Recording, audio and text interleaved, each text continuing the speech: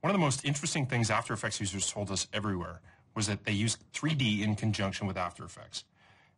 With this version, we partnered with Maxon, one of the leading vendors of 3D tools, to do an unprecedented integration between After Effects and Cinema 4D.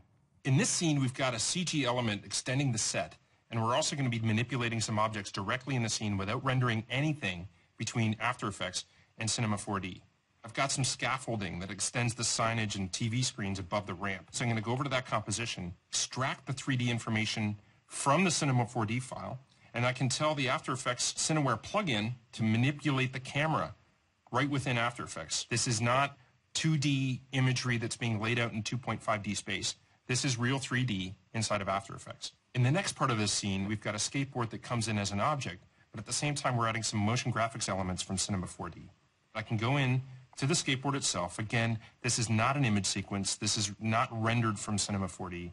And make changes to this 3D model directly from within After Effects or to be able to edit original and go to the included and fully licensed version of Cinema 4D to Lite that's now included with every installation of After Effects. I'm just going to change the texture of the arrow. I want that to be red. And by changing the element within Cinema 4D and hitting Save, when I jump back to After Effects, I haven't had to re-render anything. I haven't had to wait potentially hours for the rendered before I import it into the composite.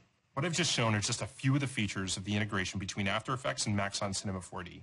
There's an entire multi-pass workflow amongst others that give you full creative control without the requirement to re-render as you move between the two applications.